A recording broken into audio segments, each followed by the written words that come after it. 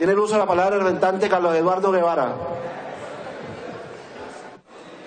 Mi gracias, presidente. Un saludo a usted, a la plenaria y a quienes ven por el canal Congreso.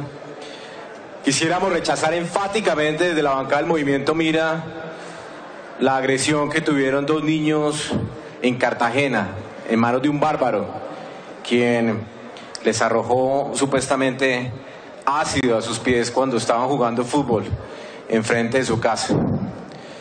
Desde esta curul y desde esta posición hemos venido trabajando para aumentar las penas.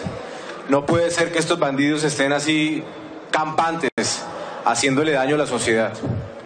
Es uno de los delitos más aberrantes. Agredir a otra persona con una sustancia química que prácticamente dura ocho días carcomiendo el cuerpo de una persona. Rechazamos, presidente, y si le hacemos un llamado enfático a la plenaria del Senado para que rápidamente aboque el estudio del proyecto de ley que radicó esta bancada del movimiento Mira para que podamos tener las penas más altas del país para estos bandidos. De otro lado, presidente, lamentar, ayer en la plenaria del Senado de la República se llevó a cabo el debate sobre el incremento tarifario que se avecina en el país en virtud de el racionamiento que se viene ya a portas debido al fenómeno del niño. Logramos, presidente, tener información previa, lástima no pudimos intervenir ayer, pero son más de 26 billones de pesos que todos los colombianos le hemos pagado a las empresas generadoras de energía en el país. Es un seguro, el denominado cargo de confiabilidad, que terminó siendo no tan confiable y hoy nos tiene a de un racionamiento. El anterior apagón, presidente, le costó al país 2.5 puntos del PIB, es decir, unos 20 billones de pesos si hiciéramos las proyecciones a precio de hoy, más las pérdidas económicas, más las pérdidas en términos de productividad y competitividad.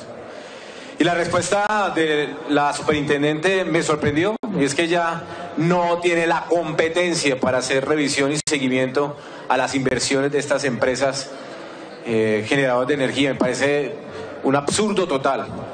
Pero sí tiene competencias para otros temas. Y de igual manera el director de la CRE y el ministro de Minas. Desde esta bancada, presidente, le solicitamos al gobierno nacional revisar esa decisión.